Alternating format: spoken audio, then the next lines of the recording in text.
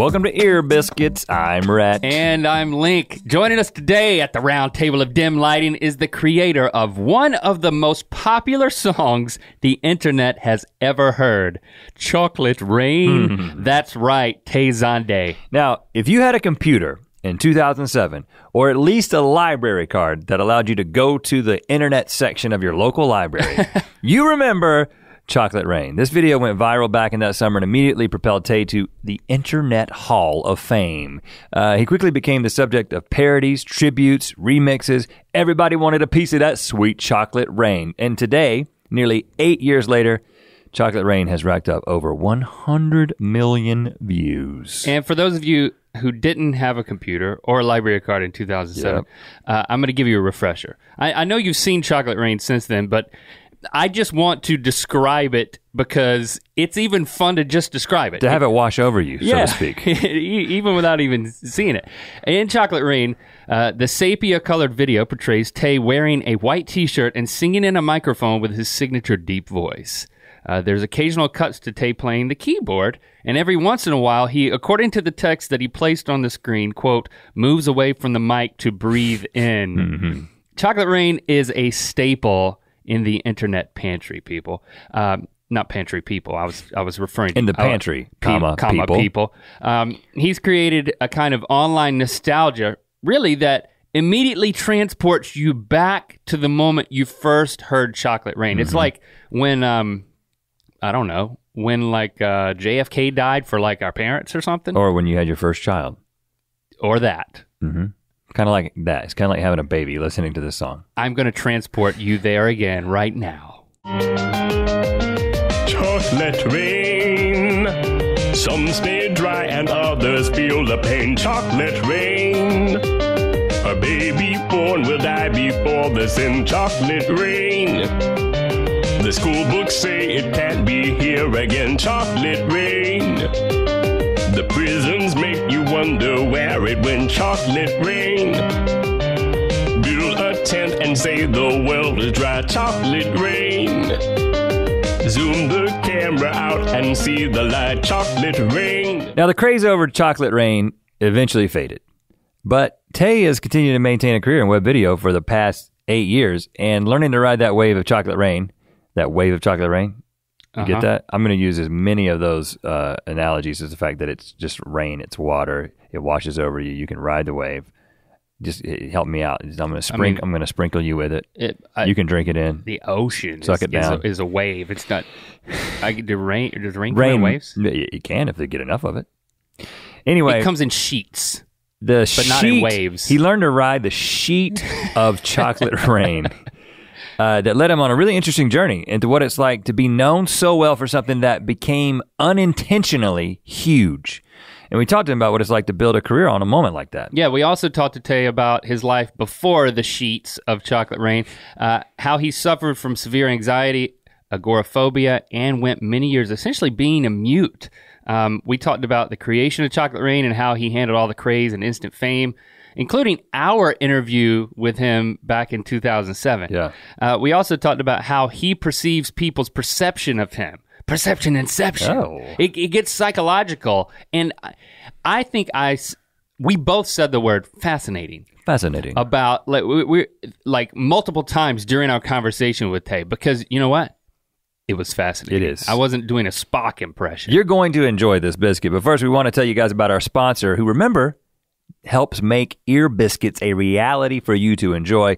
EF College Break. The travel experts at EF College Break create amazing travel experiences for people aged 18 to 28. Listen, the only boring and tedious part of travel is the planning. Uh, reserving flights and hotels, figuring out what to do, when to do it, how to get from place to place, all the necessary stuff for having a truly great trip. EF College Break does all that for you. When you let EF College Break plan your trip, you are free to just take the trip. Just enjoy the trip, man. Uh, and what are you going to be enjoying? Well, they've created a bunch of unique travel experiences you can browse right on their website. Trips like touring London and Paris, Paris, uh, cruising the islands of Thailand, embarking on a coastal Thailand. adventure in Australia. Oh, that was bad. Australia.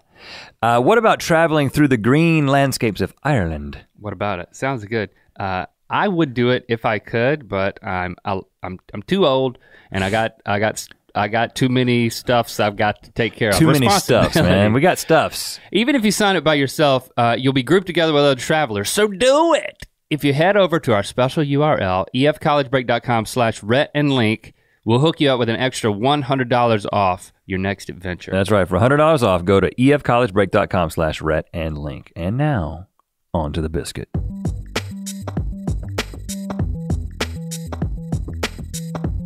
I've been looking forward to having this conversation. I know you kind of came in here last minute. We appreciate that, but I will say that I've been looking forward to having uh, the Tay Zonday ear biscuit for uh, quite a while. Uh, there's a number of questions, and we've got we've got quite a history to go through. Not only um, with you as a person and as a performer, but also with us collectively. I think there's some good stuff we Yes. we want to head on. Definitely. But you know, having not released videos this year yet on either of your YouTube channels, we were trying to, you know, do some research, do some catch up. And one of the first things we found was an article out there that said, Multiple. multiple articles. Oh yeah, wow! All right. uh, saying that you were spotted shopping for engagement rings with your girlfriend. Are you engaged? Oh my! I'm I'm behind the times on this. I need to. Uh, apparently, I need to be reading TMZ. Well, that was fi- only one or of the articles. Fi- find the latest uh, on Tay Zonday. Well, the second article said that you had had a secret wedding ceremony. Oh my goodness! Uh, I am just behind the times Now, on I- Tay Zonday. I'm behind the fan fiction. Now th- I'm, so I'm this- looking at your face and I'm trying to figure out are you legitimately surprised? And you you do legitimately look taken aback by this. oh no, I'm not. Are you engaged? I, I actually am not. I am not engaged. Uh, you know, I don't have time for relationships. You know, people are always asking. Hold "Hey, on, you're I'm- not even in a relationship? Oh my goodness! I seriously, I can't even find time to like tie my shoes. I seriously, and it's funny because people always say, "Oh, Tay, you must get all the ladies. You must get all the whatever. Like, you, who are you after?" And it's like, yeah, I mean, uh, Well, but the thing is, they'd is, be surprised how dull my life actually there's is. art- the articles. inter- no, and it, and it's the interesting thing is is I haven't this seen these articles. I'll there's this Google one News. source. This one source. Uh, it's difficult to ascertain the uh, reliability of this source, given our conversation already, but also given the nature of this website. When we were just trying to catch up on you, one of the things that it, it, it had multiple articles, including um, an engage the engagement, the secret looking for engagement rings, very large I mean, diamonds I at like a this version of Tay's on and Day. I, I want to a be this. secret ceremony with I- a quote from a close friend. I'm not Wow. kidding. It was just like this is I, this is where's this? You I don't know about this uh, thing, huh? Apparently, I haven't been googling myself lately. Okay, well I'm gonna look it up right now. So you haven't you you're not engaged, you don't have a girlfriend. Have you been like just perusing the diamond section just for I, I, kicks? ac- I actually have not. But See, every time you say that, I think you're about to say I actually have. You're like, I actually am engaged, but you're like, I actually am not.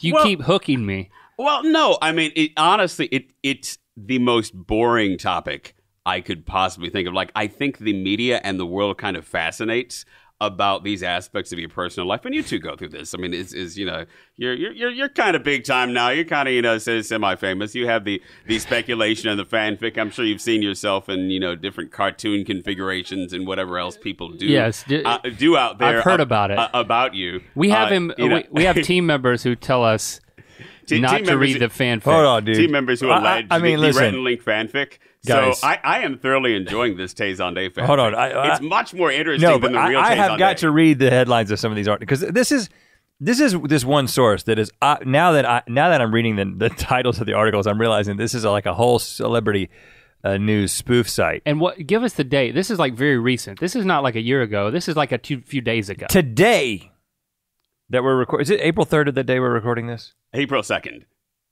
So it's the day Oh. after April Fools. All right. So if we we did think What maybe day- this April Fool, but it's not. It's the Tay Zonday Day after. nude photos leaked online. Oh my goodness. Click Uh, on it. Tay Zonday's dog recovering from surgery. That was March 28th. Tay Zonday secretly married. That was today. Tay Zonday named sexiest singer alive. That was Oh, yesterday. okay. Tay Zonday Times Person of the Year 2015. And this is all one website. What's the name of the website? uh, MediaMass.net. Oh. Tay Zonday to be a dad. Uh, Tay Zonday goes uh, Gangnam Style. Tazon Like, Day hey, I'm single everybody's again. daddy. I'll do that. No. Tay Zonday is the highest paid singer in the world. That was All right. yesterday. and Tay Zonday new album in 2015 world tour. This is You don't. You're not in charge of this website, are you? I, uh, apparently not, though. I mean, it. Some of them I'll take. You know, hey, Is this your version you of know a what they, publicist? you know what they say about all publicity. it's suspicious. that is. Good I'm just so publicity. intrigued at this point. Just what by does it say about Rhett and Link? that- Have- Nothing. It says. Oh, it says nothing about. Come on. It meaning the internet, Oh. or No, it that, meaning like- this website. It- well, it's a satire site, guys. Oh. Yeah, which that makes a whole lot of sense now. oh. But they're fixated on satirizing you. Oh, it's a know your meme. Media Mass is a parody news site best known for debunking celebrity rumors. Um, th- this is like us just li- Yeah, I live feel like- on the air I feel like discovering the a paid- onion. I feel like this is a paid promotion for Media Mass. Are they a it- secret it seems like it. I, are they handing money under the table here? Let's see what it says about us. this to me. Let's see what it says about us, guys. And I'm going to be disappointed if it doesn't say anything about us. But there's a Tay Zonday article for every single day. Is it automatically generated? It says absolutely nothing. nothing. about us, Oh, and you have my like goodness. you have like 50 articles on Oh this thing. man. Well, you know, I guess We fell I am, for it. I am uh, winning that procedurally generated algorithmic uh, satire article game. Can you expound upon uh, this recent tweet in your Twitter feed? Uh, now, this was posted on April Fool's Day. It was. I'm tired of lying. I'm attracted to aliens. I want to cuddle an alien, Hmm. feel tentacles all over my body, Mm-hmm. and make interspecies children. Now, you see, I think that April Fools is like Vegas in terms of what happens on April Fools stays on April Fools. And Oh, so it is it. April 2nd. I think saying that it's April 2nd is kind of like pleading the fifth. So I am just going to separate myself from all actions, all digital uh, trails that were left by me on April 1st. But Uh, but can I make an observation? You can make an Uh, observation. is- uh, okay, so you've just confirmed that this was an April Fool's Day pr- uh, prank tweet from you, but I think it that's that gives insight into your sense of humor because it's it's not it's such a bizarre tweet. It's You like- thought he was serious? no? I'm just saying if this is a joke, it's an interesting. I mean, I believe these articles about him getting married. But yeah, you're the one who fell for that. I'm just saying that. Tay, if I read this, if I read this sincerely, well, that's it's weird. If I read it as an April Fool's prank tweet, it's still weird Interesting. Now, why is that? Because it's not a joke. I guess this is the review, the reverse interview. Uh, yeah, you said you're like, what, I th- what am I, supposed to be hila- fa- I thought for? it was hilarious. okay, okay. I, I, I thought it was riveting. I'm not I saying thought- it's not hilarious. I, I thought people would look at it and be like, "Oh wow!" You, but are you pl- you were playing into like the way that people like to speculate about you like i bet he wants to make love I to an alien No, no, no. But but I think you kind of hit because the larger question here and the larger co- uh, problem is like I have problems with whenever I try to be deliberately funny. ah I cannot be deliberately funny. I can only be incidentally funny. Okay. and uh, this is that defines my career where it's like i can be just being me just being every day and not trying to be funny being quote unquote the straight man as it's called in improv comedy. Uh, you know just fascinating. and it's fine. It's Right. funny. People laugh at it like oh gosh he moved away from the mic i didn't intend but when you go for the joke. When i go for the joke people have the exact reaction that you're having where it's like tay uh, okay maybe that was a little bit funny but you know it's it's also kind of creepy. Like I, you hit the wrong note there, dude. I mean, I I know you were trying to be funny, but uh, so This is that, that, fascinating. that is a legitimate so Tay I Zonday think joke That, that yes, that was Tay Zonday's attempt at a joke. Got it. And you are having a very typical reaction to my Oh, my. deliberate attempts at humor. So many interesting things happening already. but isn't it it is you know your self-analysis there i think i'd like to unpack over the We course of want to this get into that. Absolutely, entire- we can get into that. conversation uh, before going all the way back to your birth because i do want to go all the way oh, back all the way back. Let's All go back to let's go back to the first time that the three of us met. And I we don't met doing no, in that hotel, Yes. that poolside room, the Roosevelt. the, the Roosevelt Hotel, uh, to do a segment. Was it what was this show? Online Nation. Yes. Is that, yes. You, Yeah, you had yeah. your show on the WB. Exactly. Let me and I'll set the stage here Oh, yeah, because so y- yeah, we by all means. uh we but i'm glad you remember that's amazing. Yeah, I I think we may have touched base about this at one time over the years because this has been eight years ago that Wow. this happened. Just to put Holy uh, moly. some perspective here. But we were hosting the show Online Nation on the CW, which uh, some of the listeners may know was a really horrible show that we hosted uh, four episodes. It was of. a it was a clip show. We tossed to internet videos. and your your video had gone viral in the either the spring or summer of 2007, and then our show was coming out in the fall of 2007, and there was this whole debate about is it too late? Does it make us seem out of touch to talk about Chocolate Rain, the first episode of this, in the, one of the first episodes of the season? And we were like, I feel like we've got to talk about this because it was such a big thing. And they were like, Well, you guys, you know what you can do? You can go and interview the guy behind this thing because he's going to be in LA for Jimmy Kimmel. right. So this was at the at the height of Chocolate oh, Rain. Oh, absolutely. I remember. But but Online Nation wouldn't the first first episode would not air for like another month Until like So that- October. That, yeah. was the that was the question of of the timing. But you know, we wanted to not just be hosts, but we wanted to go out on location. We wanted to we wanted to create content, and part of that, if that was an interview, then hey, we were fine with that. Um, you know, it was our first it was our first time working in LA. We had visited. And you know, we were intimidated by everything and then now we're we're being told, "Okay, we've got like 20 minutes with you know, what what we all call the chocolate rain guy, you know. Uh, we didn't know you as Tay, even though we knew that was your name and we were going to interview you. And yeah, I guess Kimmel had put you up at the at the At- At a Roosevelt. poolside room at, at Yes. the Roosevelt. And it's funny you recounting that experience of LA because that was actually my first experience in Uh-huh. LA uh, as an adult, at least since I was, you know, a, a kid. I'd been there a couple times. But, uh, and I just remember that sense of awe of being amazed. Like, you know, you feel the sunlight on Hollywood and Highland, and it kind of, it's this weird filtered by pollution sunlight Yeah. that you don't get in, in the South or the Midwest. And it's like, Or Minnesota, where you or- were- or Minnesota, where I was at the time. And so it just that sense of LA being so new Right. and feeling different. And I was totally green at the time of that interview. Like that was just like me being caught up in the whirlwind of the craziness of not knowing what to do. and, and we we can illustrate that because We go uh, to yeah, we go to your door.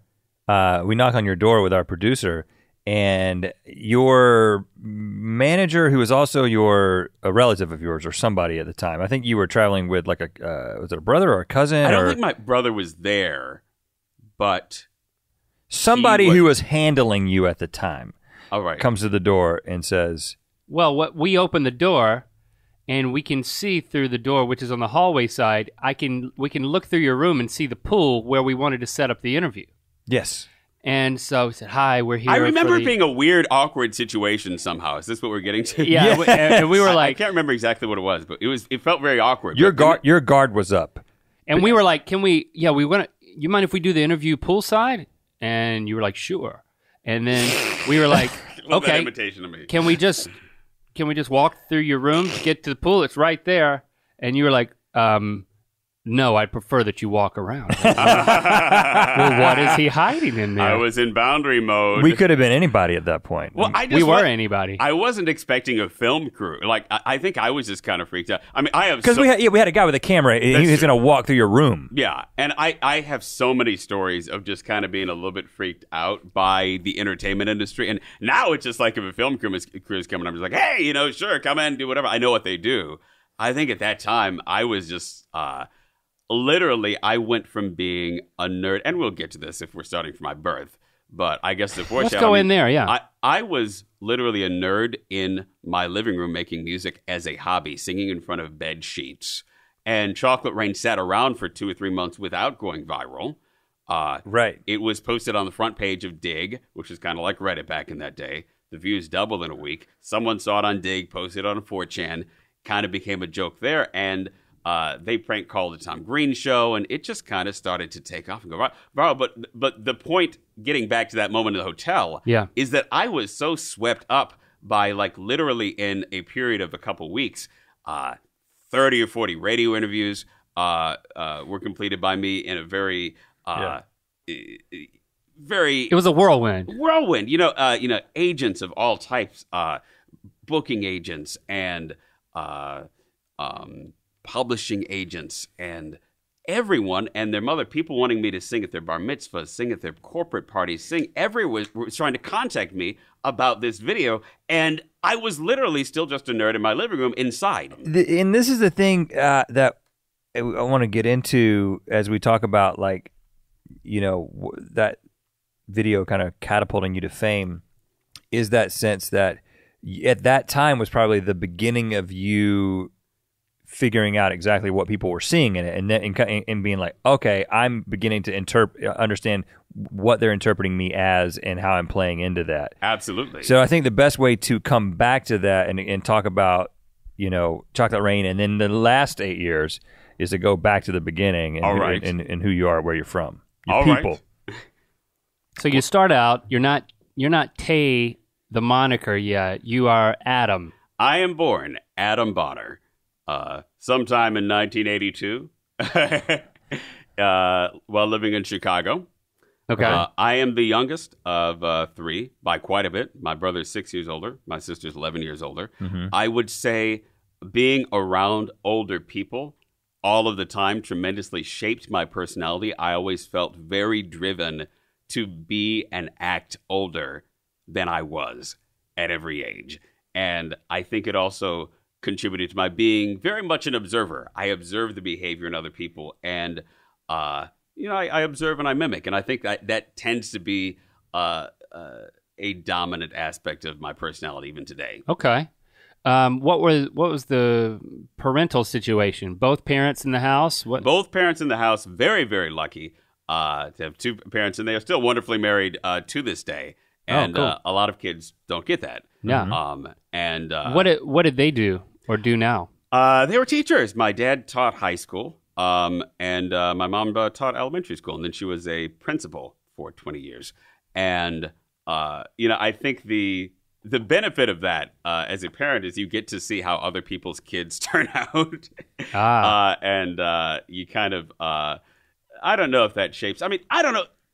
First of all, I, I have to say because we kind of started with the relationship silliness. You know, Right. first of all, being in a relationship and sustaining a relationship is one of the hardest things you can do. And so I I am absolutely uh, amazed that my parents or anyone else who's been, been married a long period of time, I mean, that is hard to be with one person for 20, 30, 40 years. But then to have kids and raise kids, and again, that is one of the most difficult things you can ever do. Yeah. And I had no appreciation of this as a kid. So I think these are insights that I, I kind of get being an adult, being 32, almost 33 now, reflecting back on my childhood.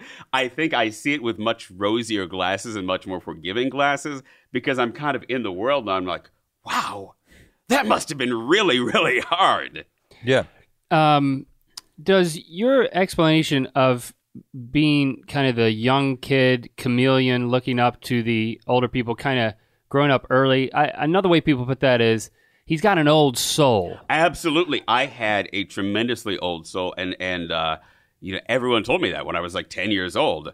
so it, it's not, it wasn't just something you you reapplied in retrospect because people ask about well you got the deep voice and well surely you're affecting your voice and things of this nature where it's it, pe- people start to question and try to deconstruct you that you derive the reasons for that or is it something that even back then your parents were like yeah you were he, he was always an old soul I, I was always very much an old soul. Um, you know, I remember one of my favorite role models when I was nine, ten years old was uh, Lieutenant Commander Data on Star Trek: The Next Generation, and I loved the idea, uh, and and also Spock on the, on the original Star Trek. I loved the idea of being reserved and uh, super intellectual and somehow greater than my own humanity. now uh, i read somewhere hopefully not on rhett's website uh, Yeah. that your parents discouraged you from listening to popular music. Uh, so what what was behind that?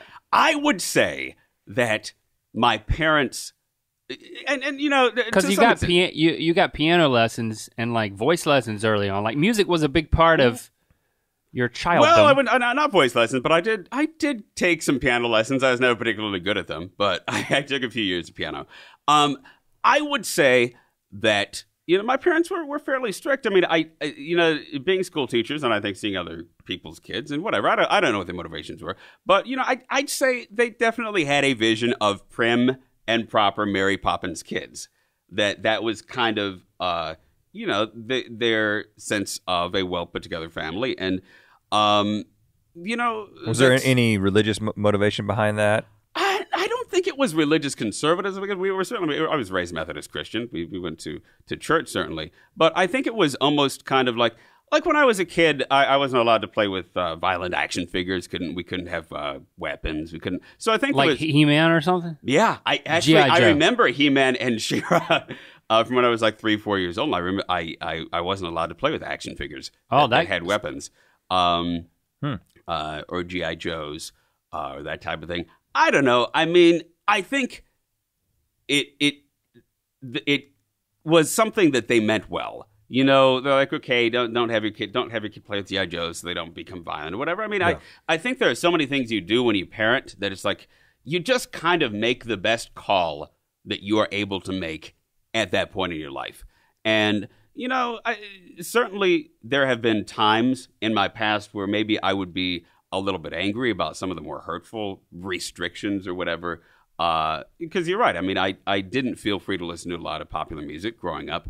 I felt, and and part of that again was what I described earlier. This very internal pressure I had to always be older, always seem more proper, always seem more reserved, always seem more um, adult than even the adults around me. And so I think that also kind of fed into this sense of, well, you know, don't listen to, you know, oh, oh who's popular then, you know, Nirvana, Korn, Rage Against the Machine, etc. Um, So you were raised in a pop music vacuum?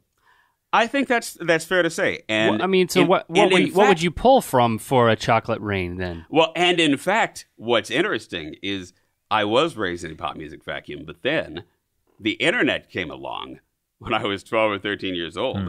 Uh, and around 13, 14, I started being able to download MP3s. And the internet was this wonderful place where it's like I realized I could do anything, and my parents couldn't see what I was doing. And so it kind of became this second life, so to speak, which is why sometimes I think I relate so much to to kids in the digital generation now, because I mean it's, it's it's all like crazy with social media and like you know kids going to sleep with their phones and whatever. So what Um, did you download? Uh, you you uh, say that almost uh, uh, suggestively.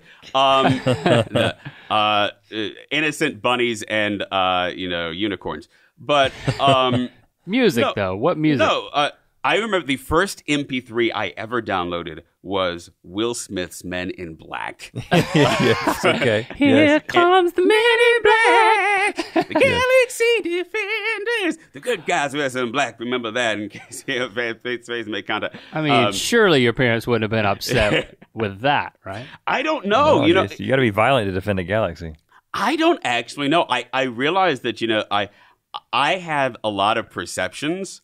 Uh, I think, especially when I was young, uh, I think I would perceive people very literally when I was young. Um, and so, you know, someone would say something to me once, uh, including my parents, like, okay, uh, you're not allowed to do this. And like, I would remember that four, five, six, seven years later, I've always had kind of a, that pictographic type of memory where it's like if you say something, and I, I think I was brutal like this as a kid, uh, you know, where I'd be 17, 18 years old, remember something that my mom just said to me uh, offhand when I was 12, and I'd be like, oh, wait, you actually did say that. And Over compliant, like absolutely like over proper. That is, that is the best word. Over compliant. Um, I was an over compliant pleaser who very much took uh, what was said to me literally. I remember, uh, you know, one time I was uh, just watching TV, just watching Full House, which is a fairly innocent show when I was 12 years old, and and and my mom was just, I mean, uh, saying, you know, uh, I don't like, you know, the the dialogue between you know the the, the father and you know the, the daughter, and that it was a little bit, you know. Uh, not what she thought was appropriate. And there probably were Full House episodes like that. Um, they seem like friends, not like a parent. or just, I mean, it was just some scene or something where like something was said. It was something where it's like I think my mom would have said it. Uh, she was being sassy. and yeah, and forgot, and she probably forgot about it the next day. But I remember like years later, I was like 16, 17, almost 18 years old, you know, creeping up on adulthood, and still having internalized uh, exactly what my mom said on that day as though it was gospel. And I think it took me uh, a while to, To watch o- Full House. well, to, to watch. I, I guess it's probably on Netflix now, but I mean, have Uh, you watched it ever since then? I actually haven't. I actually stopped watching it at that should- and I and I watched we should it. stop We should have a right marathon. Uh, Full I- House marathon no, tonight. I, that actually took the Full House out of me. I think But- that constitutes torture in this day and age. Oh, it's great. Still great. Still holds But- up. Holds up. The two spoiler alert.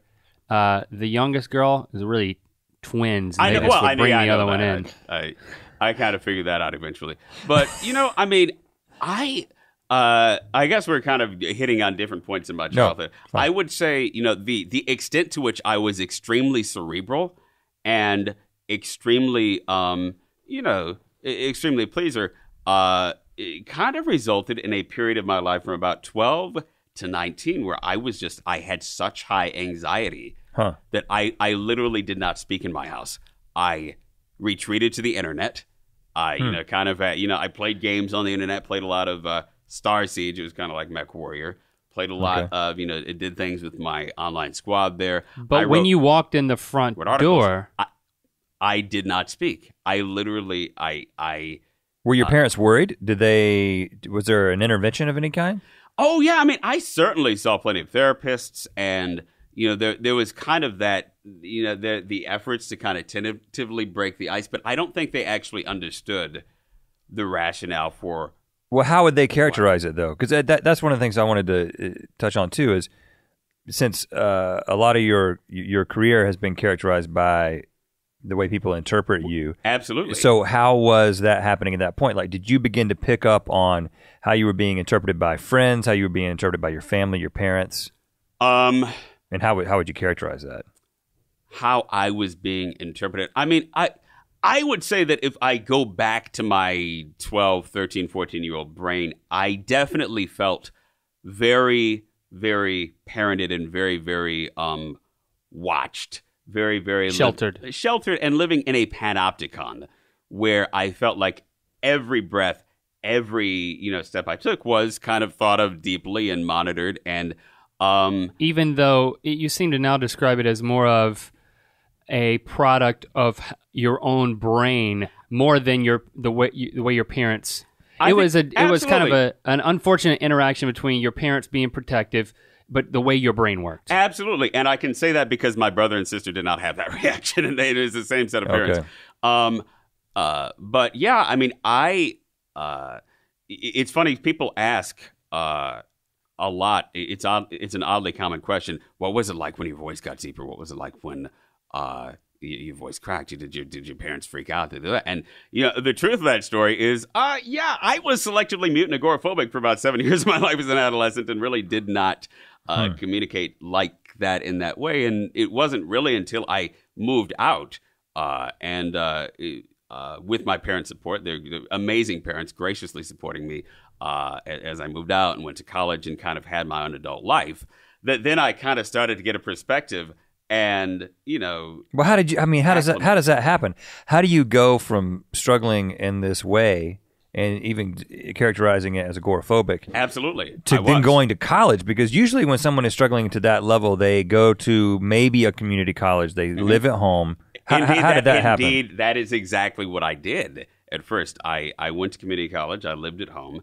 Uh, eventually, we all kind of moved from the Midwest out to Seattle. Uh, lived in an apartment there, and I went to community college. Transferred down. How did you tell him where you want to go? Did you email him, or Uh, you spoke occasionally? You know, my sister was actually very helpful at that point. In kind of like when I started to be like eight- 18, 19, uh, you know, she was she was kind of the intervention and kind of because I mean she was moving on with her life and whatever. She was much older. She was kind of like, you know what, you know, clearly there's some miscommunication that's happened between you and and and and mom and dad, and maybe it's it's time you kind of an, an adult now. Uh, let's evaluate this. And you know, I I uh, you know I am blessed to have such wonderful people in my family who've been supportive, both my parents and and my older siblings, uh, who've really been there for me in those moments where I kind of needed that type of you know tap on the shoulder. You're like, hey, uh, can we move on from this? And I think I eventually did. And uh, so mechanically, how did that happen? well, it it happened. What was so interesting is uh, I lived in Capitol Hill in Seattle when I was 19. Uh, this was right when 9/11 happened, uh, and you know Capitol Hill is a very very politically active, you know, very kind of you know um, eclectic, artistic uh, type community, and uh, I'd say that's the period of my life where I kind of started to. Uh, I really warmed up to. Uh, I went to community college there. I was in different independent media movements. Uh, I think that kind of post 9/11 lead up to the Iraq War period was when I kind of started to look at the internet as something where okay, is this something where we can attempt social change or at least kind of create a dialogue? And of course, you know, it, it really wasn't successful. And you didn't have social media. You didn't really have the critical mass to do that with it.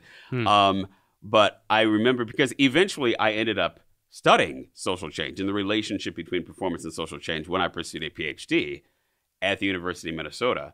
And I think it was kind of that moment living in Capitol Hill where there were all sorts of different types of, uh, you know, politics and marches and, and things going on uh, that I kind of both came out of my shell that I grew up in and became acclimated to different types of people. And was that because those those movements uh, usually involve actually getting to know and interact with people? Is that what kind of drew you out? Like, oh, I, I'm I'm into this movement, or I want to go be a part of this group. Like, how do you begin to have those interactions with people where you start feeling like, okay, no, I can be social, I can speak. Like, do you remember a moment? Um, I don't know if I remember a moment. I mean, so much of my agoraphobia and not uh, feeling safe outside was a fear that my parents would, like when I was like 17, 16, a, a 18, feel, a fear that my parents would drive by and see me being normal or see me doing something that they would not approve of. And I literally clamped up and, and shut down to the for that reason. I, like I didn't go outside. I was afraid like uh, that that I would be outed, so to speak, by by being seen by that panopticon. Um, and uh, you know, I, I think at some point, you know, I, I was, you know, my my parents were so good to me when I was, you know, a kid. I mean, they they uh, a lot of kids, you know, when they're not 18, 19, they're they're out of the house, they have to support themselves. You know, my parents were very generous. I mean, they they they paid for me to be in an apartment. I was there by myself. They paid for me to be independent. They kind of knew what I needed in order to transition into adulthood, and they gave it to me.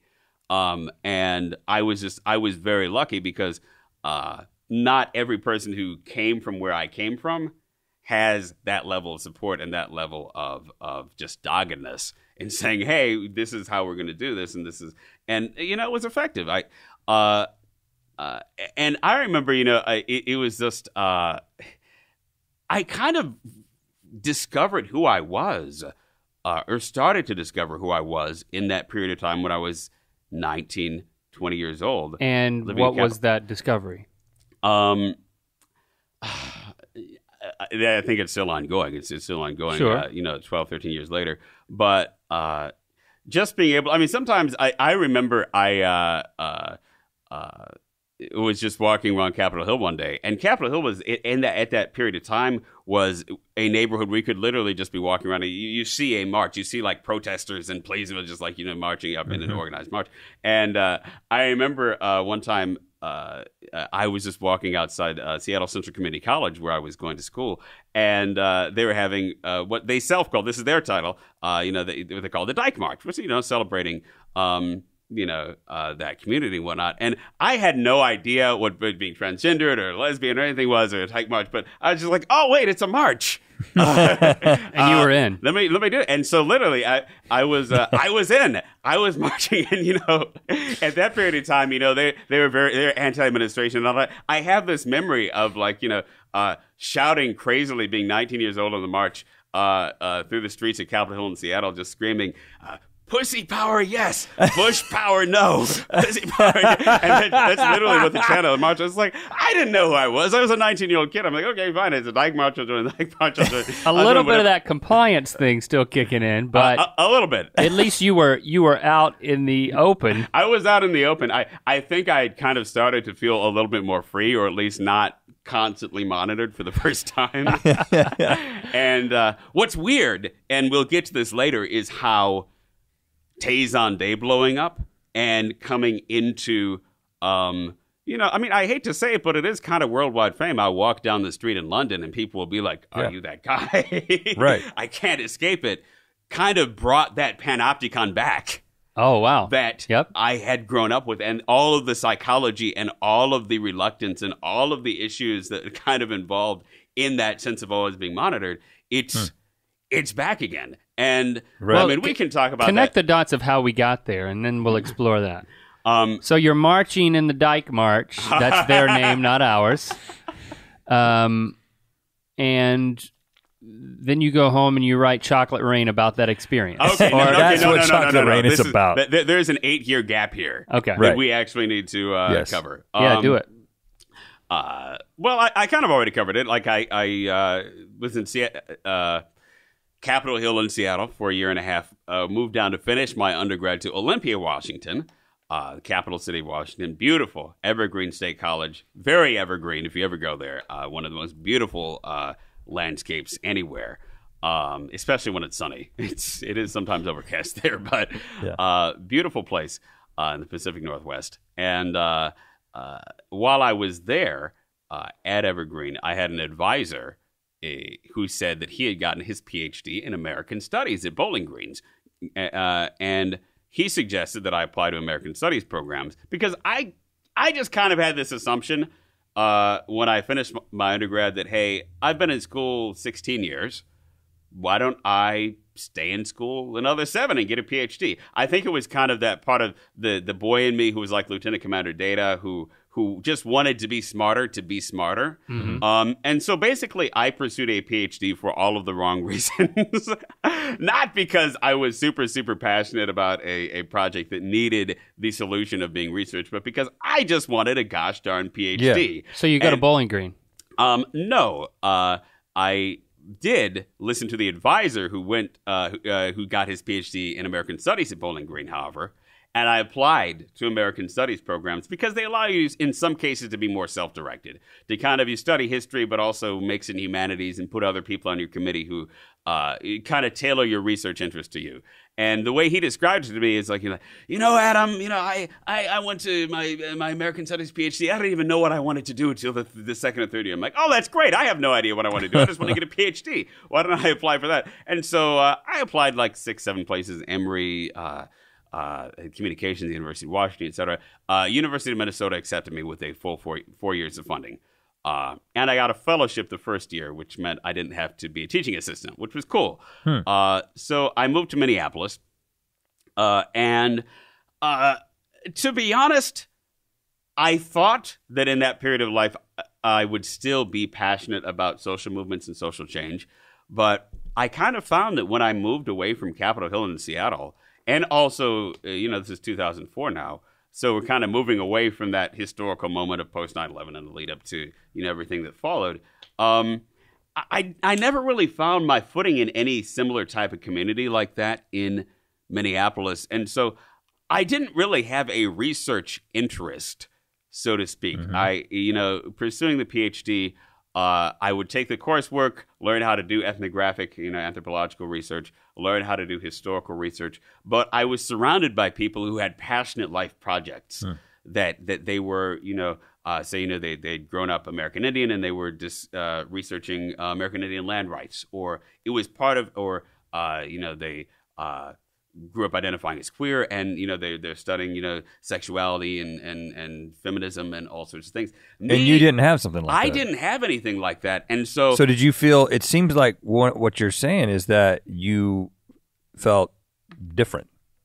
I absolutely felt different. And, you know, one of the ways I responded to that difference is I continued my lifelong music hobby. I'd never been a serious musician, but I've always been a hobbyist musician, kind of uh, doing it for fun. Uh, and I would start uh, going to open mics in Minneapolis around 2006, dragging sometimes my, you know, 40 pound stage piano with a 30 pound amp. Uh, I remember one cafe I went to uh, which is in a different part of the city. It was the middle of winter in Minneapolis. I literally had alligator cables tying a 30 pound amp to a 40 pound stage piano on one of those little airport, uh, you know, uh, hand cart things. Yeah. And I was dragging it through the snow. I, I On the dragged- sidewalk? on the sidewalk. Uh, drug it in through the snow, left this little lake of water in this cafe that had maybe 10 people in it. And so it takes me 10 minutes to set up. Why didn't you just get a keyboard? I know I had a keyboard. I'm dragging the, the stage piano and Oh, sta- Uh, stage piano is a keyboard. yeah, but stage it's piano still is a big. keyboard. It's still big, but uh, I basically remember I'm I'm taking forever to set up. I'm playing two songs there, singing for ten people, five of whom are not paying attention, uh, the other five of whom really don't care, and then you know putting it back together and going back, you know, in, into the shame of my car and going, going back home. and then YouTube comes along. At this point, before YouTube, the people who knew you, your friends, Mm-hmm. uh, did they? What was their interaction with you? What was their assessment of you? Did they consider you uh, different, or you know, uh, Adam is you know he's a weird guy. I- I, love him for it. Was it that kind of thing? I imagine that people have found me to be unique, my entire life. But you never. I have never felt like I could have just that everyday blending in. And I think that's one reason I withdrew as a kid because I wanted that so, so badly, especially as an isolated teen.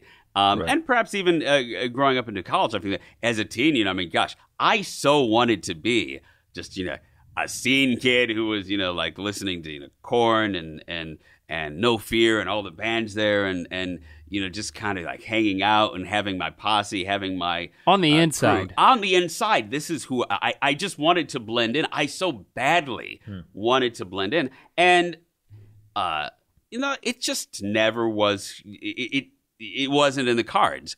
Uh, you know, it was, it, you know, partly for reason of my parents, partly for reason of who I was. I've just always stuck out. But you're, I mean, if you're saying if we were to travel back in time and meet you on the street and ask you what is your life goal, you would have said blend in. Yet you're dragging a huge keyboard down in the snow. So almost in spite, like going on instinct. This is the was core counter. conflict of my existence.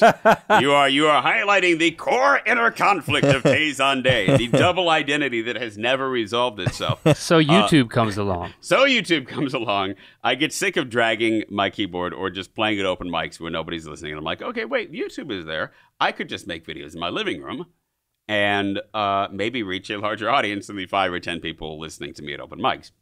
So is the first And- video on your channel now the first one you uploaded? No, no, no, no, no, no. Okay. The the videos on my channel have been very mercilessly pruned. Um, Because Canon and Z original classical arrangement yeah. eight years ago is is, and then you have Love, an original song by Kubi featuring Tay Zonday, and then the third one that's still public is Chocolate Rain. Yes. Heard of that. one one. hundred and one The point first video million I views. ever. Uh, first of all, the, the way I started on YouTube, uh, January 2007, uh, because you know I was still known as Adam Bahner at this point, and I said I need to come up with an alter ego. Mm-hmm. Um, I want it to be something that's not in use by anybody else, uh, and so I kind of Googled different uh, variations. Why? Why? Why need an alter ego? Because at I that mean, you're not a rapper. No, at that point, I believed my career would be to be a university professor where I would be publishing papers, and I wanted that to have its own Google life. I wanted uh, my career as an academic, uh, as a researcher, to have its own life separate from my music career.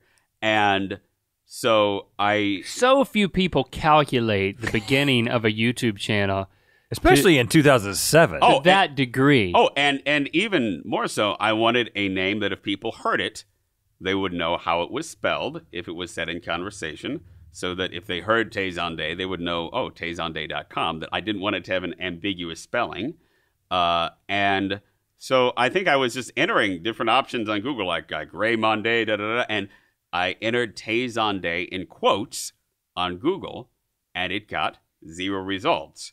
Really? And I'm like, boom. I'm going to take youtube.com slash Tayzonday. Just off the top of your head. MySpace.com slash Tayzonday. it doesn't mean Zonday and Tay don't mean anything in another language, or No. That, no, they were, they're, uh, was it just- inspired by something, or it was top- created as an alter ego. like uh, just the words were just like top of mind? Like I'm just saying, Tay Zonday. flay, cron. I liked the way it rolled. I liked the way it rolled off Well, the tip of the tongue. It, it does. the funny thing is, is you just said you wanted it to be something that when people heard it in a conversation, they would know how to look it up. But the first time I heard it, you thought it was Tayzon. I thought it was Day. Tayzon Day. Yeah, that's the that's the thing I wasn't thinking of. So it's kind of like uh, if I could go but you back. knew how to spell it, and if it was Tayzon Day, It probably would have been the you, same you thing, have- right? You would have still Yeah, gotten there are If you no went to spaces. youtube.com slash Tayzon Day, you, You still would still would've gotten you there. still would have gotten there. But yeah, some people come, hey, Tayzon. I'm like, okay, whatever. I'm like- and, and and that's almost kind of something I because you know I blew up so fast, so quickly that it kind of didn't make a difference. Right, yeah, yeah, it didn't matter. and Tayzon Day brings up Adam Bahner. Adam Bahner brings up Tayzon Day now. Uh, but so you created a channel, and then what? Uh, the first video I uploaded on YouTube was my singing "Swing Low, Sweet Chariot" Okay. in the range of Paul Robeson, and so it was down like "Swing low, sweet chariot, coming for to carry me home" on the keyboard, and uh, I the love that. the feedback I got on YouTube was uh, characteristically very honest. They're kind of like, uh, "My ears are bleeding." Uh, have you ever tried like maybe you want to try Australian throat singing? You sound like a frog, Tay. This is weird. And maybe sometimes people. And these are friends because when you start YouTube, who's watching? Uh, well, no, I mean, I, yeah, I mean, I, uh, and occasionally other YouTubers. There, there was some organic reach. Okay, okay. You, what you could do is you could add people as friends. Oh yeah, boy, There we do back that. on YouTube, and then after you added them as friends, you could invite them to subscribe. Yes. or to your just send channel. and s- just mass Yeah. send the video fact, out to all your friends. story. Early 2007. Guess who was in my first 15 YouTube friends that I added? Um, let me let me guess. Yes. Well, now that you're looking at me, I'm thinking Might us. it be Red Link? No. Oh, dang it! Please be us. No. Kid Raul. Justin Bieber. Oh, really? yeah, he actually started. He had a YouTube We were hoping channel. it was us. no, no, it was uh, Justin Bieber. Yeah, and he was just a YouTube Yeah, channel at that right. point in life. You know, just uh, uh, before Justin Bieber, he was uh, that YouTube channel. And his mom was like, "Hey, you know, my kid is really great. and My 12 year old is really great at singing Michael Jackson, and uh, Playing drums. uh, yeah, uh, and which he was a great singer. Um, but it was just kind of a, a funny tidbit of YouTube history. Do you think he saw Swing Low back then? Like you were I don't seeing know. him and he was seeing you? I, I'd like to- I'd I'd have like ask to him. think so. I'd have to ask him. Uh, but I probably did invite him to subscribe. But, but uh, in any case, uh, that's kind of when I realized that uh, that and a couple other experiments that the super low bass range probably was not going to be my ticket to popularity on YouTube, and I actually started singing things an octave higher in the baritone range, which is where Chocolate Rain and some of the other songs that eventually reached popularity. uh, Which to give yeah, I mean you you've already demonstrated it, but you know uh, people already kind of I think the layman already thinks of Chocolate Rain and the rest of your music as being very bassy, is how they would describe it to begin with, even though it's technically a baritone. yeah. You know, you approached YouTube with such a confidence of success and such a level of Oh. calculation. I would say, you know, when you say, "Well, I've, I've got to have an alter ego because I'm going to be a successful Right. a PhD. Yeah. And then I'm I'm going to be successful on YouTube under a name that you need to be able to Google and find because that's part of the success. Mm-hmm. Um, and I'm even going to write an explanation for the actions, assuming people will be speculating about it. Yet the Right. calculation didn't extend to the things that actually made it such a such an explosion. Wouldn't you agree? I, I completely agree with that assessment. So it was it wasn't like nothing was calculated. An ex- a lot was calculated, and that's the first. That's one of the many things I'm finding fascinating here was the level of calculation that then set up everything that you could never have planned Yeah. to Yeah, be it- so brilliant. Absolutely. There was a tremendous amount of calculation involved in laying the ground for what then happened spontaneously. And so tell us it, how it happened. I mean, the eruption.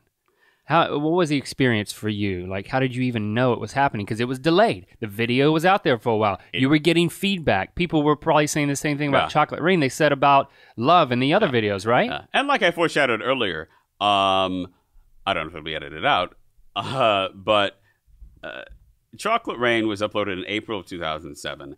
It got a little bit of traction, you know, maybe 12,000 views from, you know, the front page feature of the other video, but it largely sat around. It was maybe at 30,000 views by uh, June of 2007. And I think in early July, someone posted it on Digg.com the social bookmarking. So basically Reddit, but back then.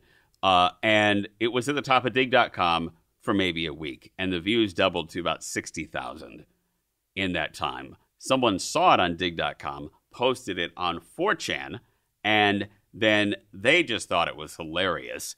And uh, it kind of became a, frank, a, a, uh, a meme there, so to speak. At Now, this yeah, time, what were you yeah, doing? Yeah. did- So did you were you were following this? I'm assuming you saw the views going up. You I knew saw where it was the being views going posted. up. I didn't know any of this until you know a- a- afterwards. I was basically what, what was I doing that summer?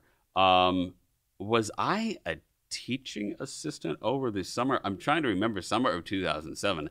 I think I may have been off that summer. I can't. I, I can't exactly remember, but I know I was li- uh, basically living the life of a PhD student and a, a nerd in my living room who uh, just did music as a hobby. So And when so when was- it, so when it happened, like even the step one, which is, you know, Digg, Mm-hmm. going from thirty to th- sixty thousand views, um, you knew this was happening. You can see people's comments. Eh, What's going through your mind at that time? Is it people are oh people people get this people Okay. like my music, or is it Uh, whoa they're where making these really observations? Hit me that something was happening was when uh, there was a 4chan thread where they tried to prank call Tom Green and successfully prank called Tom Green in his web show that he did from his living room at the time. And then the caller just breaks out singing "Chocolate Rain," and then I see Tom Green kind of reacting to "Oh, chocolate rain," da da da. da. And uh, the very next day, it's featured on Carson Daly, uh, uh, his late night show, and then it just becomes a national news story. And uh, perhaps you know every way there is to message me on YouTube. I have a contact form on my website. Uh, people were trying to contact me to get in on this news story of this video that is going viral. And I remember in the first two weeks, I did perhaps 30 radio interviews, all of them terrible, because I just had no sense of being a public figure on that level. Or But why? What I mean, just in the privacy of your own mind, what was your explanation My for the explanation explosion? was that this is what it's like to have 15 minutes of fame. This is what it's like to be a national news story. But, because but specifically because you, now you've already uh, articulated this, you you understand exactly why it blew up. Yeah. But at the time, as it was blowing up, how did that realization come about, and what were you thinking in that first interview when somebody talked to you? Um, uh, you know, unfortunately, this is still on YouTube. I think somewhere. um, what? No, what was my first interview? It was with, of all people, Opie and Anthony in New York. Okay, was the yeah. 1st radio interview I ever did, and I followed a conversation about what percentage of the ocean is composed of whale semen. And you know when you're doing the phone interview, they have like the segment that You can hear it, You can right. hear it. hear what's going on, and it's like, well, you know, like tw- up to twenty percent of the ocean might be composed of whale junk. Oh, and here's the guy next. You're not going to believe it, but he's blowing up on this YouTube thing. We've got the guy. It's Taze on the the chocolate or whatever. And uh, uh, I remember I was very self deprecating in the first interviews. What it really what really stands out about most of the interviews I've done about Chocolate Rain is people try to peg me into turning it into a polemic interview. They're saying, well, clearly this is making a political statement, Tay. And uh, uh, is there a deeper meaning? Is there a, uh, are you trying to say something like that? And um, I have always shied away from being that so uh, so-called you know Malcolm X figure or um, polemic political figure with Chocolate Rain as the basis, only because while obviously there is a political message or there is a social justice message to it, people who experience it they come from all sorts of different experiences. Someone will say, "Hey, my two-year-old can't stop singing this at bedtime." Uh, hey, you know, uh, I I love the way you move away from the mic to breathe in. Or this is just this was so funny. We just passed this around the office at work, and um, I, I want to validate those experiences. And then maybe 10, 20% of people are actually listening to the lyrics and saying, okay, you know, there's a deeper critique. There's a deeper, a deeper social message here. Uh, Kanye was very nice. I think he shouted it out in his song, uh, uh, saying that I that, that Tay Zonday was deep. Um, and and is that was that your intention um, in the lyrics? Did you want to talk about that? I absolutely did. And uh, I think, especially when it comes to social justice, people are turned off by polemics. People don't want to be preached to. And so uh, I sing about what I can't say about. But summarize it for us. But I think I just did. I always say the question is more important than the answer in terms of if chocolate rain can get people asking the question, hey, what does chocolate rain mean? Then we are in an interrogative space. But- we have we have moved from having no conversation to at least there being a question.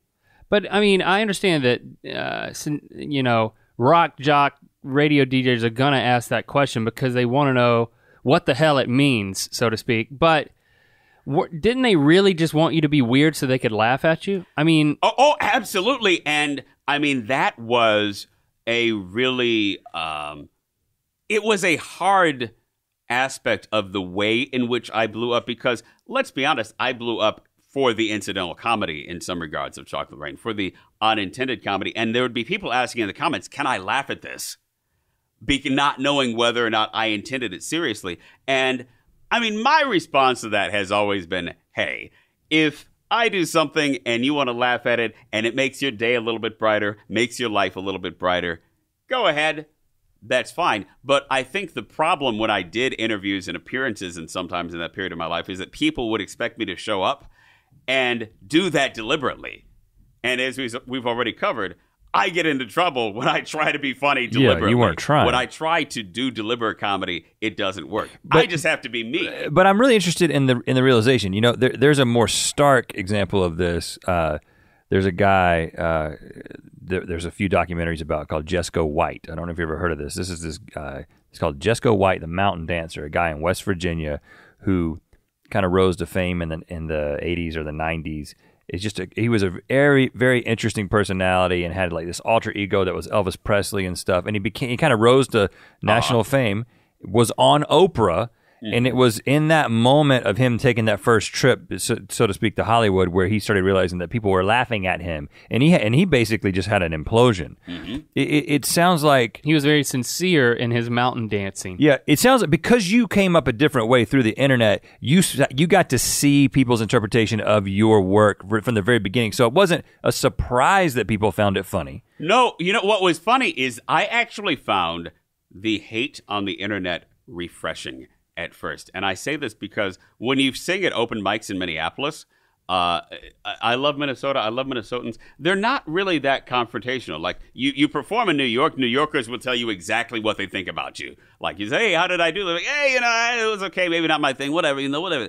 In in Minnesota, you never get that type of feedback performing live. They're always kind of like, uh, that, that was nice. Uh, keep going with it. So I came to YouTube like starving for honest feedback about how, who I did and what I was. And so, uh, you know, I, I certainly got it. I certainly, you know, people are unrestrained on the internet.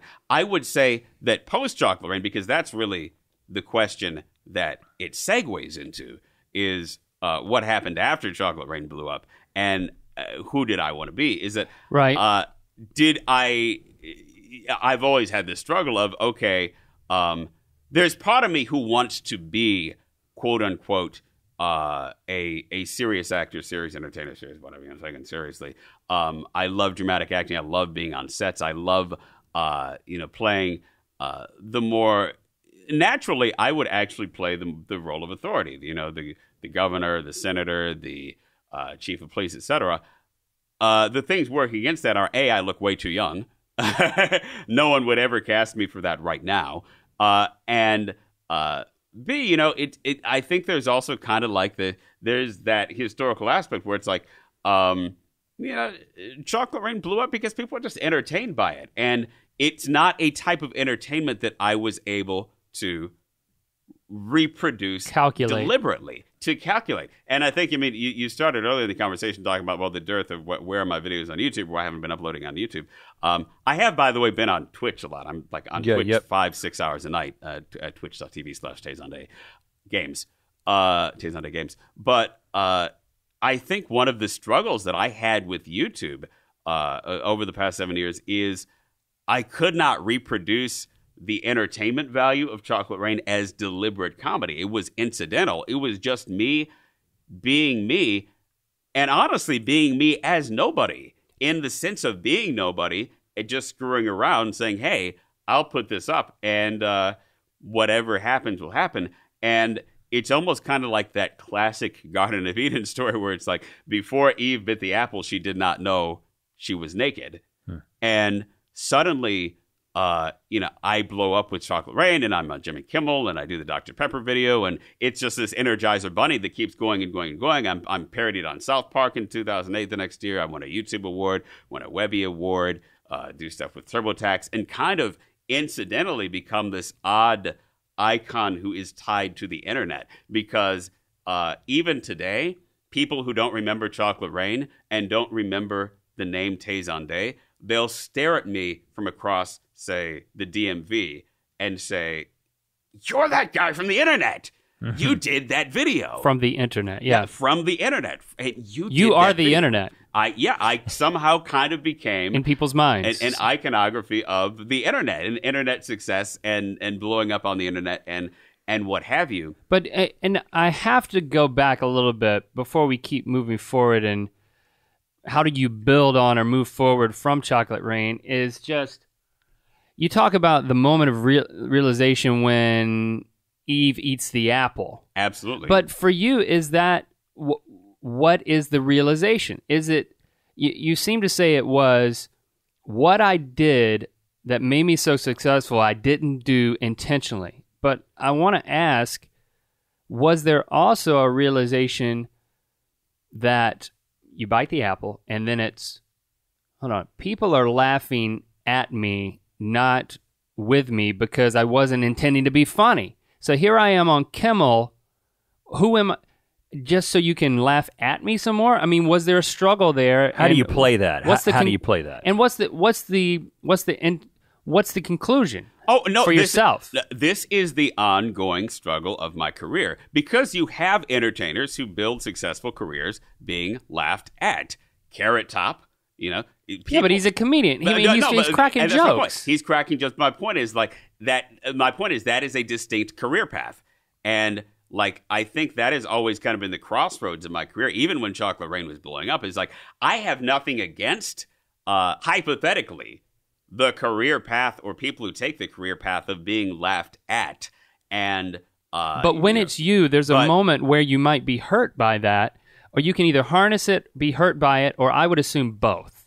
I think there was some of both. I think here's what I, you know, hindsight is always twenty twenty, and I'm not going to say that I have regrets, but I will say that you know, you look at what what Miranda Sings has done. Uh, she's very successful. She's kind of taken, and and you know that, that's not her real name, um, but she created the uh, Miranda Sings character as this over the top uh, character to be laughed at. And she's actually an extremely, extremely talented singer.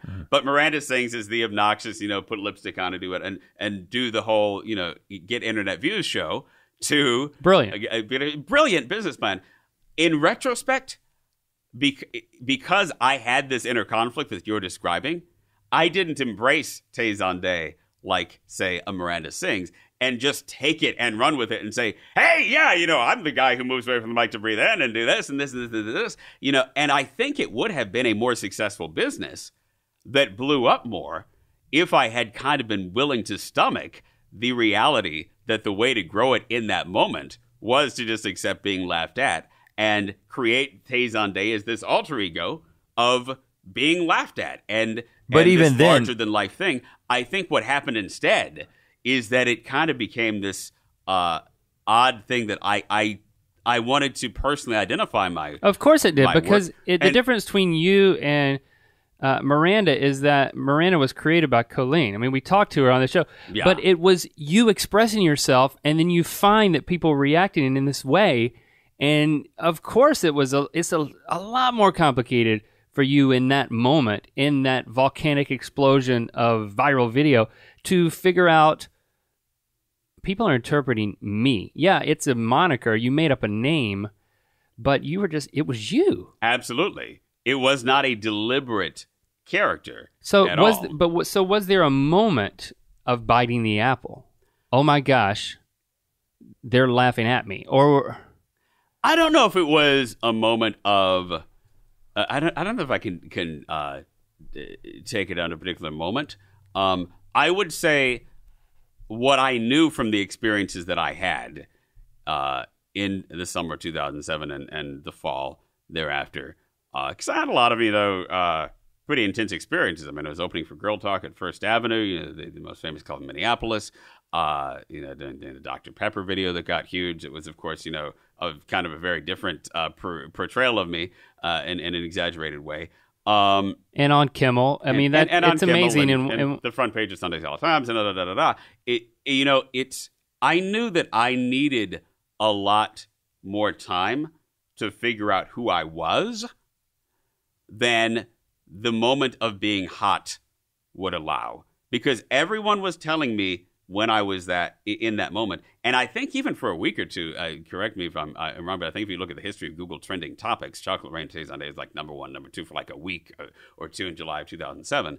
Um, everyone was telling me in that moment, it's like, okay, you're hot now. Whatever you're doing now, this moment may never come again in your life. So there is a tremendous pressure on me uh, just from, to go from being a nerd in my living room to suddenly.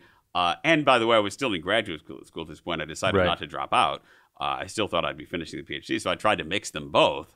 Uh, you know, there was a tremendous pressure to try and make the most of this moment. And I think my response uh, in that aha moment was just to realize, hey, I'm not going to be able to be the person I need to be to take the best advantage of this moment of being hot.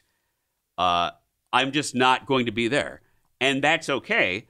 I'm just going to keep trying to be me and explore being me. And I probably have many more years of doing that to figure out who I am and who I want to become.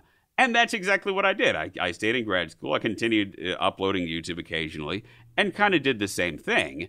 Uh, and and that to some extent, that's why I came to YouTube. I came to it as an experiment to get feedback on who I was and learn to be who I was.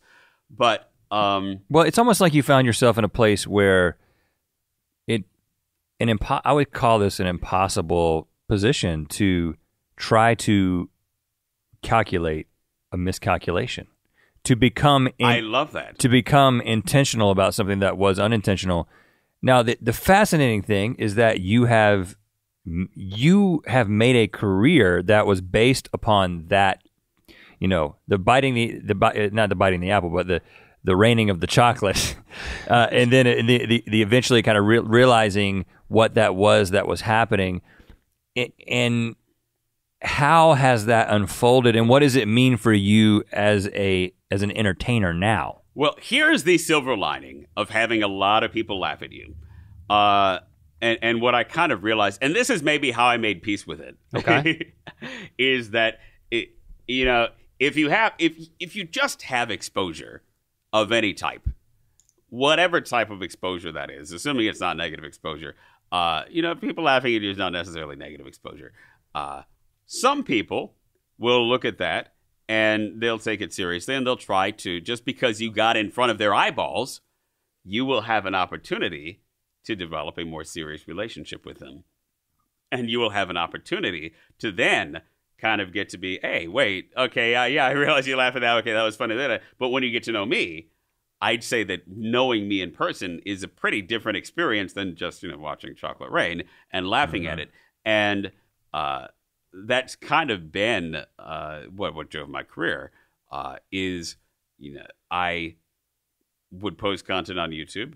There is always that YouTube audience that saw it for whatever reason. I've tried posting more serious things on YouTube.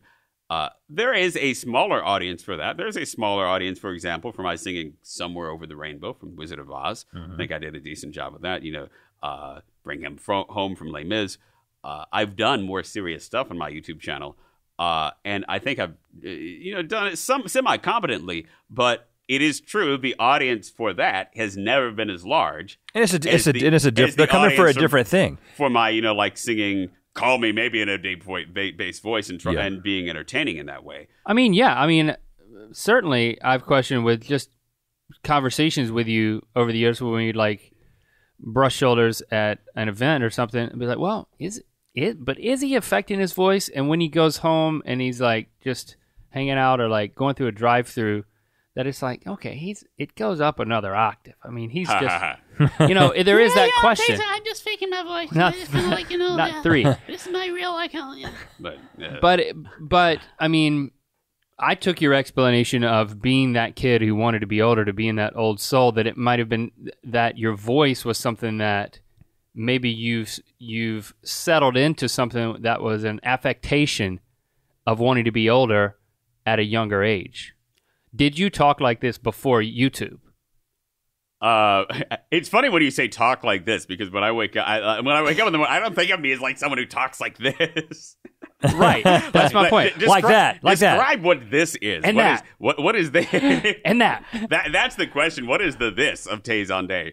Uh, talk like this. Um, uh, b- did I talk like this before my voice was deep? Probably. I mean, I, I would assume I was always cerebral, intellectual, reflective, uh, aloof to some extent. Well, I, I, I don't mean to go back to the shallow end of the pool here. I'm not trying to to do that uh, by going back to the voice. I was just acknowledging that I think people just you know they want to be fascinated to a certain degree, and then they just want to believe that oh he affects his voice, or that's the simplest solution. That's the more entertaining solution uh, explanation. So but you're knowing almost, you, the message is this is me, guys. I am a person, and I like to say things and have thoughts and have conversations. and I am actually, and, and I'm and not I'm a cart- interested in that. I'm not a cartoon. not a cartoon. And I think you're right. There, there is that is kind of the struggle that I've always had on YouTube.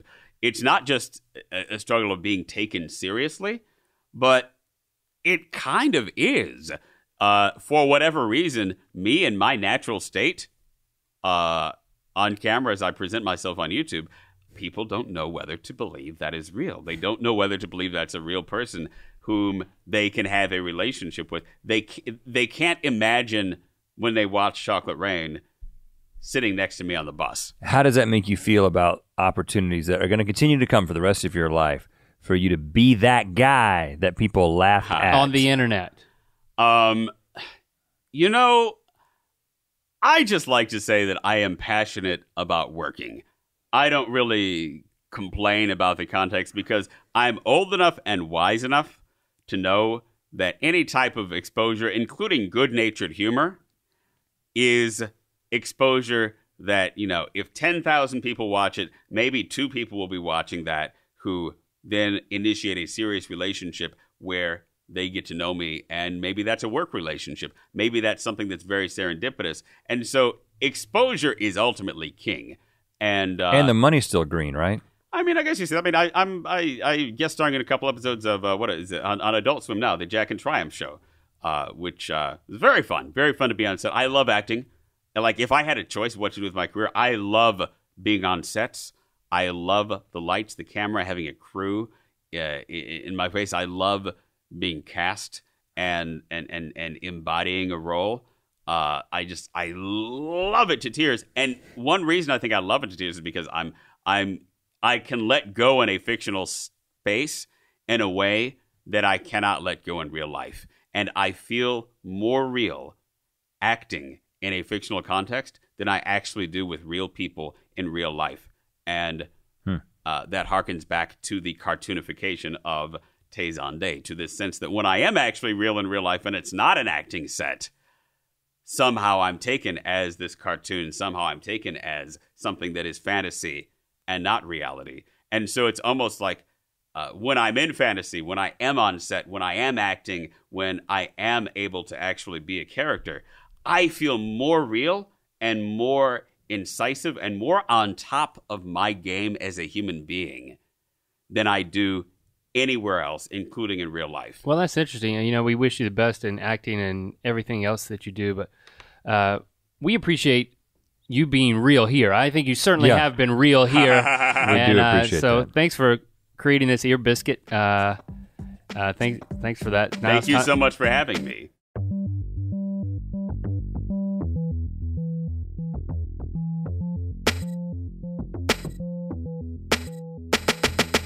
And there you have it, our chocolate biscuit with Chocolate covered with, biscuit. with Jay's on Co- dipped and covered and smothered in chocolate rain. Uh, let Tay know uh, that you appreciated his ear biscuit with us. You can do that using hashtag ear biscuits at his Twitter, Tayzonday, T A Y Z O N D A Y.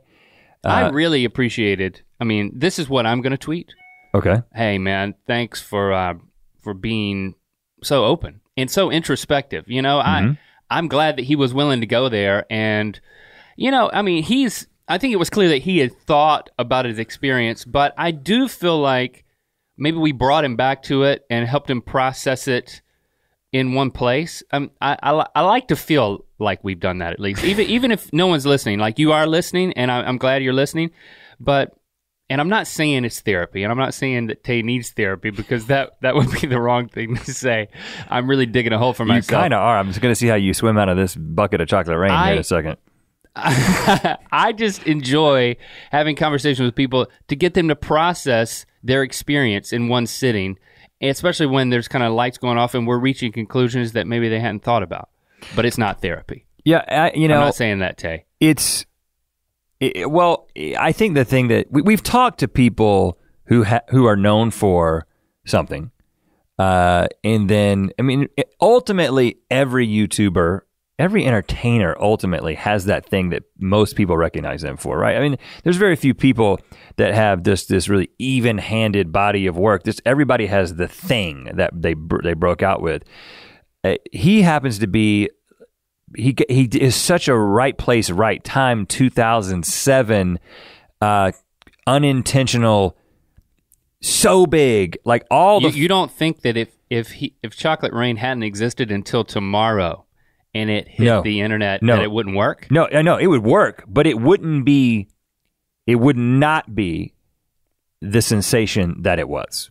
It, I I, bel I believe that it had to do with a time in which people were thirsty for chocolate rain and, don't and things like that. I don't. I, I. People are still as thirsty today. I think that. Um, I, I'm trying to think of the other people that we've talked to who had started with some unintentional success. I think there were a number of uh, ear biscuits. Uh, the only one that's coming to mind is Glozell, though. I, I'm interested to go back and listen to that one Yeah, because you know she kind she was she was doing a character, but then it was so there was some intentionality to it, just like there was what Tay was doing, but it but it blew up in a way that she didn't anticipate. Yeah, and well, she had to react and to that's it. and that and that's the interesting thing because we're not talking unintentional in the way like okay you were filmed uh, falling into a fountain Right. and you became super famous for it no no he created a piece of art he created something that people authentically like for all because of all the, the intentional decisions he made that's the wonderful the thing unintentional consequences of intentional decisions. when you describe the elements of chocolate rain that make chocolate rain great, that's all intentional. But he, like he made the decision to move away from the mic to breathe. He made the decision to put text on the screen, but he didn't necessarily know that that would be that one of the things that made it entertaining for people. So, But- it- and now that, that- I love that dynamic. I love the fact that he understands that that was the mechanism that created it, yet he still can't calculate it. He can only channel it. Like, I, th- I think that was, you know, when he talked about his sense of humor in the tweets, like, well, I, when I try to be funny, it, it might come across as creepy. But um, when I'm just putting something out there, people are going to respond to. I kind of have to trust that it. I'm going to un- unintentionally create something through intentionally trying to do something else. I'm going to intentionally do something unintentional. Right. Well, I think what you're saying, Link, is that you can't make it chocolate rain, but when it does chocolate rain, you can take it and use it You can to your it up. advantage. I mean, even in the song biscuit we we did. I mean, you were reviewing the edit and describing to me that the phenomenon of kind of letting him loose at the end of the song there. I believe that it was, eh, for me personally, the most entertaining uh, song biscuit to date. And the most entertaining part for me was the end where Tay takes the lead and we kind of move into the background and just repeat a line over and over again. And he just kind of goes to a Tay Zonday place, signature holding up of both hands at the same time, um, the facial expression, the tone.